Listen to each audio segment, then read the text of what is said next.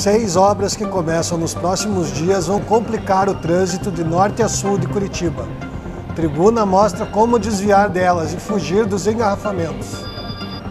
No Caçadores de Notícias você vai conhecer produtos e serviços que podem ser adquiridos no centro de Curitiba com apenas 10 reais na carteira.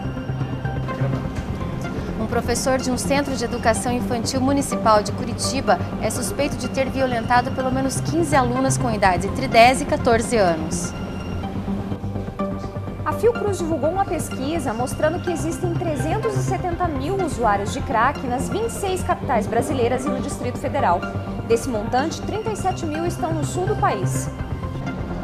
Atlético e Palmeiras empataram no jogo de ida pela Copa do Brasil Sub-20. Veja nesta sexta-feira na tribuna como foi o jogo da volta em São Paulo. Se quiser cumprir com o planejamento e alcançar vaga Libertadores pelo Brasileiro, Curitiba terá que ter aproveitamento de campeão. Por isso o clube já pensa na Copa Sul-Americana. Nas páginas da tribuna.